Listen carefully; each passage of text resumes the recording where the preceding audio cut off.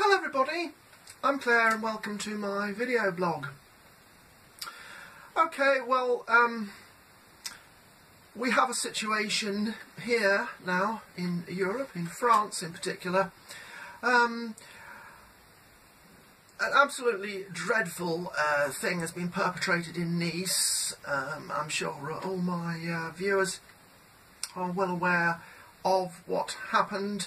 Um, I shan't go into the details of it. Obviously, a crazy Muslim guy has, um, well, maybe he's not so crazy. This is what I want to talk about.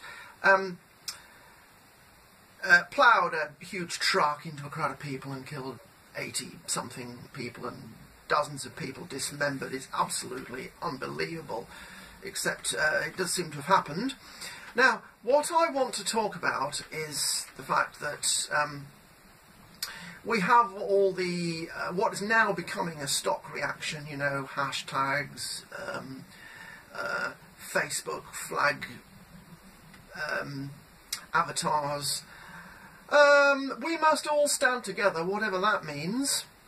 Um, and of course, uh, the one that crowns them all, well, Islam is a religion of peace, and they're not all like that. So, I've been looking at this um, for some time now, and um, I, I, think that this is the time. I did mention it in a previous uh, video I did on probably, I think it was the one about Brexit and Turkey. Well, Turkey's uh, up at the moment as well, but I won't talk about that particularly today. Um, but I did promise to do something about Islam, and now seems to be the appropriate time. Right, so. This is not what Muslims are like, right? Okay, this is it. Um, and uh, only something like this, it's a radical interpretation of Islam, and uh, really it's a religion of peace. Well, it's interesting. I used to believe that the word Islam meant peace, I don't know where I got it from. Um, uh, I think I assumed it was associated with the word salam, which is uh, Arabic for, uh, for peace, I believe. The Arabic version of shalom, which is the um, Jewish term. And, um, well, anyway, I've discovered more recently that it means actually submission. Um, and we have um, Arabic scholars saying things like um, the nature of Islam. Okay, this is a this is um, not just me making this up. There's a um, there's an Arabic scholar by the name of Hassan al-Banna says the nature of Islam is to dominate, not to be dominated, to impose its law and power to the whole planet. So this is actually what I want to talk about. Now, the material that I'm going to um, give an overview of today is um, drawn primarily from um, more recently some lectures I've seen by uh, an expert on the subject, Stephen Coughlin, um, and I'll be referencing his lectures below where you can go and watch them to get the full chapter and verse literally and uh, detail. Um, but I'll be going into some of these uh, points that he raises in his extremely detailed and comprehensive lecture series on the subject of uh, Islam and terrorism. And uh, my other source is um, Dr. Bill Warner, who uh, is a retired professor of quantum physics, so um, I think he's probably up to the intellectual task of this, and he has um, uh, both a website called politicalislam.com and a YouTube channel of the same name, Political Islam. And uh, I've watched quite a few of his videos, um, short ones, long ones, interviews. And um, there's a tremendous amount here. And one of the things that Stephen Coughlin raises is that this material is in, in the public domain. Um, it's not only available in uh, original Arabic which makes it obscure to Westerners. There are English translations of um, books um, on Islamic law and uh, interpretation of the Quran, and um, these are available in English and um, they are used by um, such organisations as uh, the Islamic Brotherhood. And um, it's all. One of the things I think is extremely interesting is the um, fact that our Western governments um, seem apparently completely oblivious to these facts. Now, this is um, something Stephen Coughlin mentions, um, because basically either the leaders of our country, and I think we know that Theresa May, for instance, in this country, um, has shown um, excessive compliance towards Islam. Um, but either they understand this, what I'm going to explain, or else they're ignorant. Now, if they're ignorant, they shouldn't be.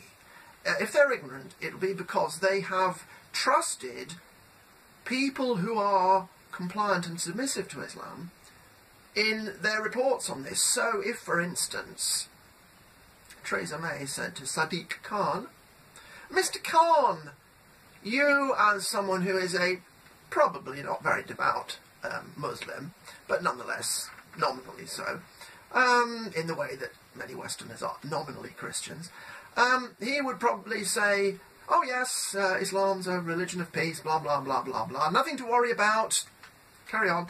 And so she said, oh well, thank you, Sadgit, um, I'll just carry on and we'll just say, let's have lots of lovely more Muslims in this country.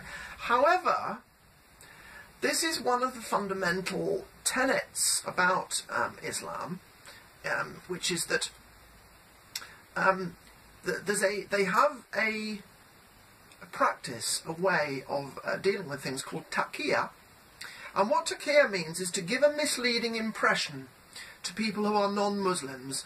So uh, they want to um, they want uh, non-Muslims to believe that uh, Islam is a religion of peace, that um, they're all very obedient, good citizens, and all this sort of stuff. But what they give the misleading impression about is the fact that there are more advanced stages, and Islam is a very complicated system of thought.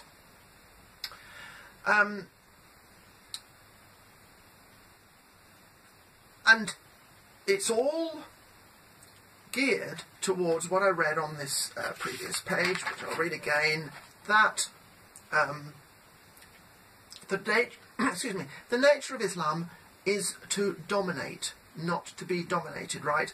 And uh, uh, to extend, uh, sorry, impose its law and power to the whole planet.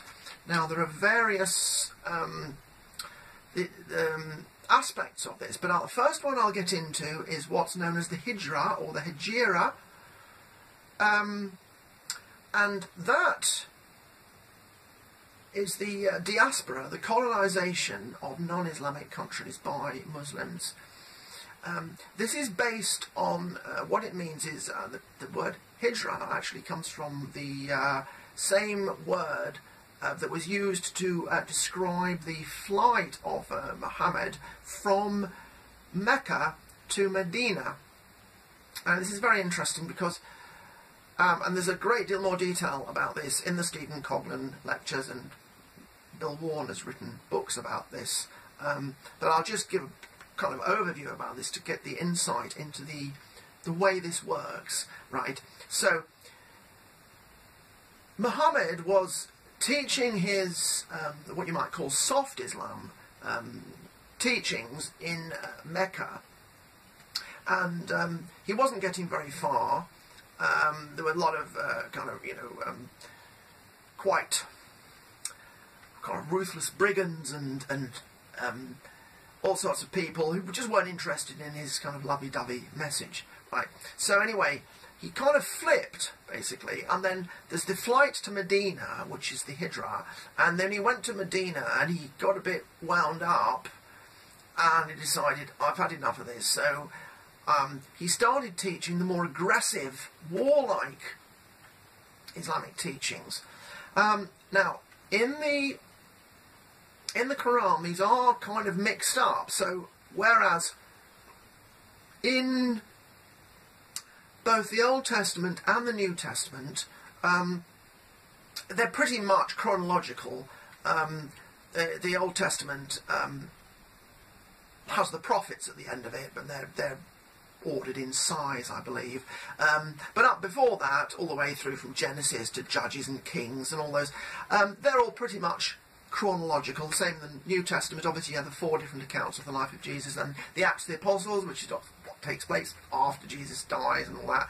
And then uh, there's the Epistle, and then there's the final book of Revelation. So, so we in the West are conditioned to this view of right. Well, it's all kind of chronological and it's all kind of revealed in you know various stages, and so um, even uh, um, what there's a there's an aspect of Christianity which um, Islam exploits, which I shall explain in a moment, but. Um, the Quran is not a linear account. There's various things jumbled up and mixed up, and um,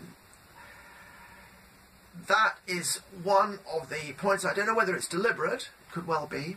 Um, but the point that I was going to say that uh, they exploit off from Christianity now, obviously, one of the big things about Christianity is that um, Jesus is supposed to have come to uh, release humanity from uh, the, you know, kind of uh, unforgiving wrath of his father, and you know, the sacrifice, you know, made made you know um, salvation available to all humanity and all that. Um, and so we have this idea of of the, the law, the moral law, being changed, being updated, right?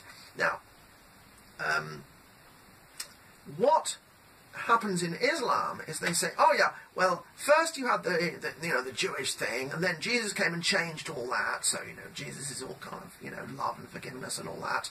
Um, and then you know, I say, well, what's what's wrong with that? That that Muslim, that Islam under Muhammad has to come and do this thing whereby suddenly it's like, well, I, I can kind of see how this works for them. So what they say is, oh yeah, well that was just a temporary uh, kind of dispensation, you know, from God, but now we've got the ultimate final one, you know, like Muhammad, um, you know, replaces Jesus, or the way they res- you know, respect Jesus as a lesser person to, than Muhammad, but uh, Muhammad the one is the one who's got the mojo, you know, and of course he has all this, um, there's tremendous amount of warlike stuff uh, in uh, the uh, Quran, I'll just quote, um, well, I'll just mention um, uh, chapter 8, verse 12. I think that's Surah 8 of um, the Quran.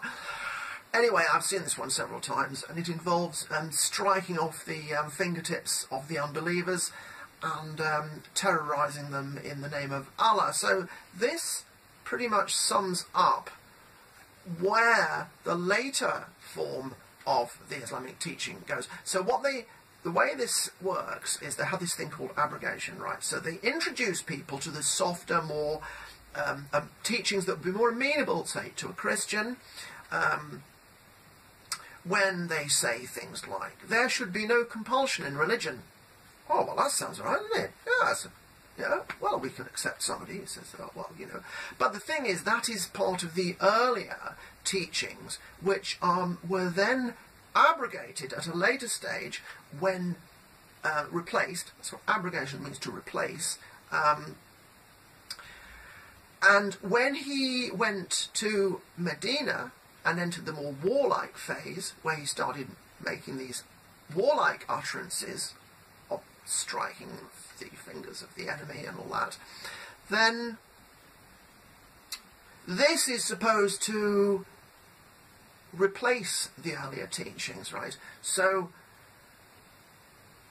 the way that I can only see that, well, this fits in with the taqiyya thing, because the taqiyya is to give a false impression. So basically, what it seems to me to be is that the earlier, softer teachings, which are intermingled and confused with the later teachings, they actually lure people in. So you might almost say that, that, that Christianity is a kind of softening up exercise for Islam to come along, because the Christians are all, you know, but forgiving and open. That's kind of pretty much where Europe is at the moment.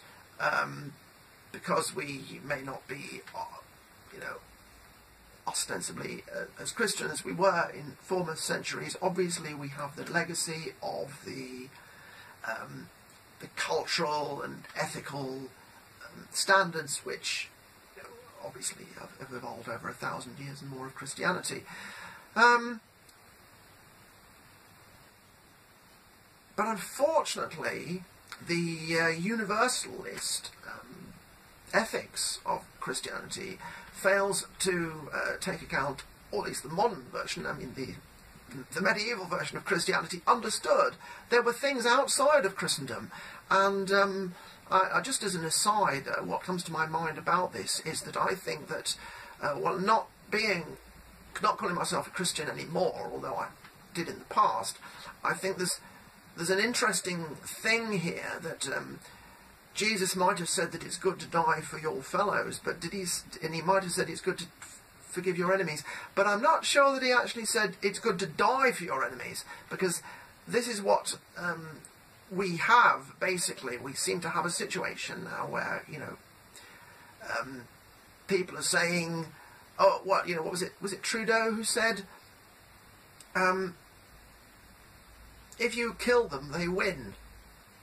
Right, so, uh, you know, Islamic terrorists are killing people, and we're winning. I don't think we are. Um, but anyway, so I'll get back, anyway, I'll get back to the Hijra, right? So the point is, it's that, um, what this has come to mean is the colonization, right? So they, the whole idea about Islam is to uh, model on the life of Muhammad, right? So Muhammad started off a peaceful guy in Mecca, moves to Medina, turns into a warlike kind of guy, and um, takes the jihad from shortly after that. Now, so what what is what is taught in Islam is that there is nothing greater than to perform a hijrah, right? So what the idea behind that is to go and leave your own country, leave your own people, go to a foreign country, settle in, settle down, be a good citizen, and then, in time, increase your numbers. And this is the taqiyya, you tell everybody Islam is religion of peace and all this.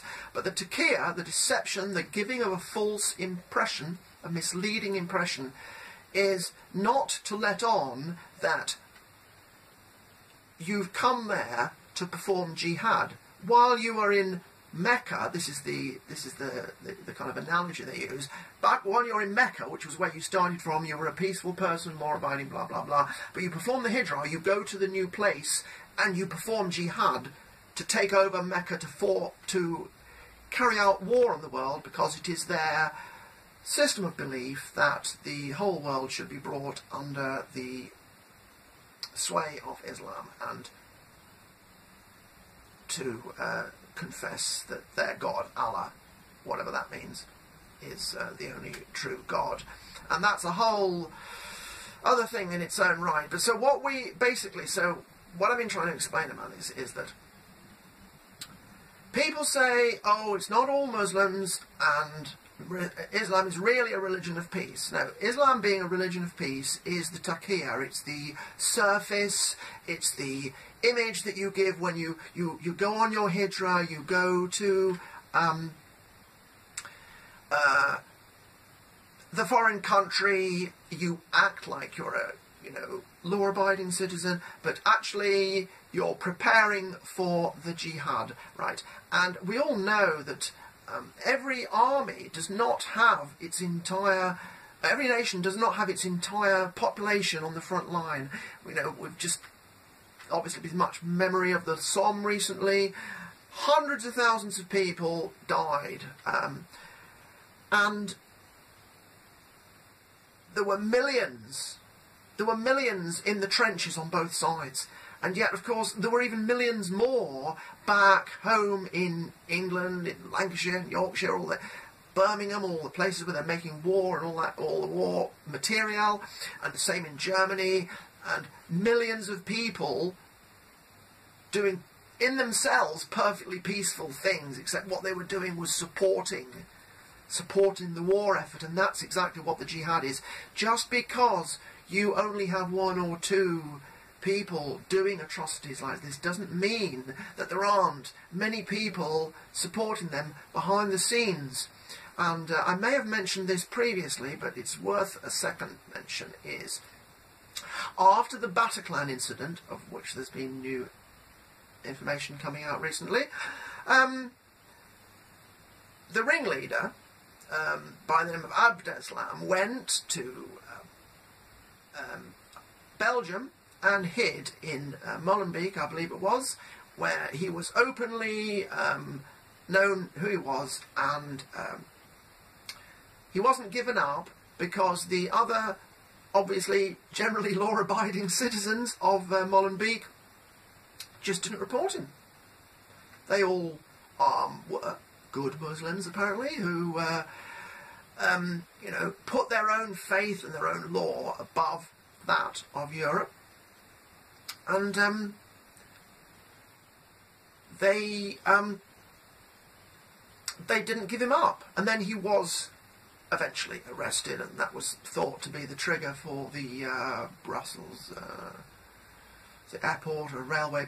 Anyway, the Brussels bombings a few days afterwards. But the point which doesn't seem to have been picked up quite so much by the mainstream media is the fact that Abdeslam had a brother. Well, he had two brothers, actually. But one of them had been living in Molenbeek for over 10 years. And for the last 10 years, the Molenbeek brother had been working in migrant resettlement for the Molenbeek Municipal Council. The brother of the terrorist who organised the Bataclan massacre, however many people it was, I've lost count. His brother, right, the brother of the ringleader of the Bataclan, right, had been working for 10 years resettling migrants in Molenbeek, where his brother came to stay and was able to openly walk the streets with people knowing who he was because they were all Muslims who had been resettled by his brother over the last ten years. Um, and I'll just I'll just um, add one last thing here, which is that um, in Islam, Sharia is considered Islamic law, Sharia law, which is derived from the uh, Quran and the um, traditions, Hadith, and then um, scholarly interpretations. But they kind of come down in that order. And in Iraq um, and Afghanistan, where new constitutions have been put up, the West don't understand that Sharia is considered to override the constitution because when they talk about human rights, when a Muslim person talks about human rights, when an Islamic country talks about human rights, they're talking about, to them, human rights is Sharia law. So whereas we may think about human rights as being, um, you know, equality between men and women before the law, um, uh, being tried by your peers, um, reasonable doubt and evidence, all that kind of stuff that we take for granted here in the West. No. If a country accepts that if a country is Islamic, they consider the law of Islam is that it overrides the civil law. So this is what this is what's growing in in in the West. Um, so really, what we have here is a situation where we are being completely misled. The people at the top, such as Theresa May and Obama. Well, I think Obama must know more because he has more of a background with Islam. These people are either completely stupid, um, or they're completely just not paying attention and believing what Islamic advisors tell them because uh, Obama seems to have quite a lot of people. Clinton has somebody who's a Muslim, I believe, who uh, is her personal assistant. There's an awful amount of Islamic infiltration into the American government, and uh, quite a lot in this country as well. And when you factor in the idea of taqiyya and hijrah, uh, it becomes quite clear that this is basically designed to take over our countries. So there's so much more I could say, and I hope I haven't left any of these points dangling, but there's quite a few, so I've tried to kind of um, pull them all together to explain why it is that Islam is making a serious attempt on taking over the West. You have to remember that it's been making war on Europe since the 7th century, right? Um, it expelled Europeans from the north of Africa, a few left over, Circassians, Berbers, and then it expelled the Eastern Empire from what is now Turkey. They took Constantinople, the greatest city of the ancient world. Um, they continually predated upon the coast of Italy. Back in the 8th century, Charles Martel gallantly defeated them and expelled them from France, but they occupied Spain for another, I remember, is it seven, eight, nine hundred years, something like that, until um, Ferdinand and Isabella finally pushed them out. And so we have both the ideology, which I've tried to give a brief introduction to, and we also have the history, which is the empirical evidence of the expression of that ideology. So, when somebody says, oh, well, not all Muslims are like that, well, this is absolutely perfectly true, and um, they may be perfectly decent people, but the point is, if that's the case, then they are probably unconscious of the greater scheme of Islam, just like many people who are nominally Christian don't properly understand the theology this is probably the same with many Muslims. The point is, it's not the Muslims, it's the Islam. And the Muslims, they just fall in behind it. So, I'm going to uh, put the uh, links for the uh, Stephen Coughlin and um, uh, Bill Warner um, information below, and I would urge you very strongly to uh, spend a bit of time looking at this material because it's absolutely quite astonishing that the leaders of the West who roll out these platitudes about Islam being a religion of peace have as much or a great deal more access to this kind of information than you or I do just using the um, open source uh, material available on the internet. So you'll have to come to your own conclusions about why it is that what should be standard security information, which MI5, MI6 should be feeding to the politicians to say, look, this stuff is dangerous. You don't want to have them in this country. There may be plenty of, you know, compliant peaceful Muslims, but they are part of the pillars that are holding it all up. So that the ones at the top, the commandos, they can't do it without the support. So, please look at the videos, Stephen Coughlin, Bill Warner, excellent material, and um, thank you for watching, and I'll be back soon with something else. Thank you very much. Well, Islam is a religion of peace, and they're not all like that.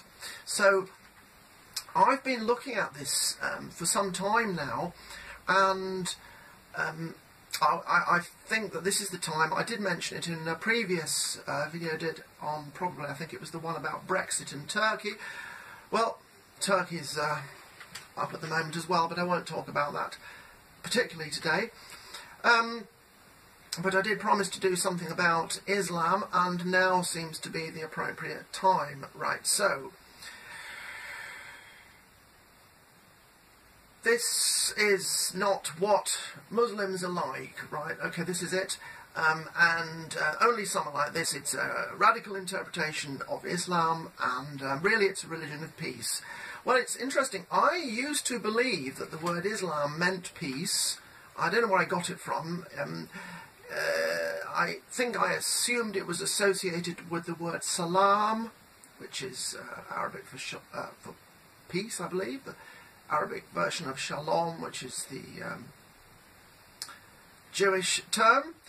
And, um, well, anyway, I've discovered more recently that it means actually submission. Um, and we um, uh, ploughed a huge truck into a crowd of people and killed 80 something people and dozens of people dismembered. is absolutely unbelievable, except uh, it does seem to have happened. Now, what I want to talk about is the fact that um, we have all the uh, what is now becoming a stock reaction, you know, hashtags, um, uh, Facebook flag um, avatars. Um, we must all stand together, whatever that means. Um, and of course, uh, the one that crowns them all, well, oh, hello everybody. I'm Claire and welcome to my video blog. Okay, well, um, we have a situation here now in Europe, in France in particular. Um,